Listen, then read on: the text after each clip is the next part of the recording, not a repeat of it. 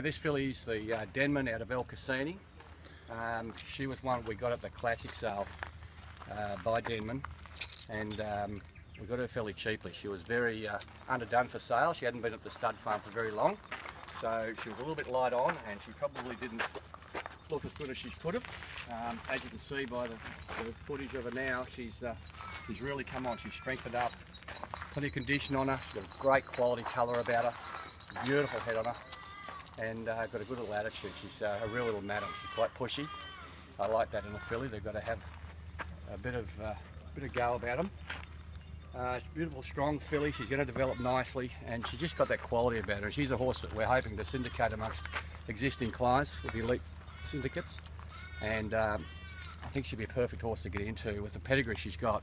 She's got residual down the track, and with Denman so hot at the moment, uh, I think she's very cheap.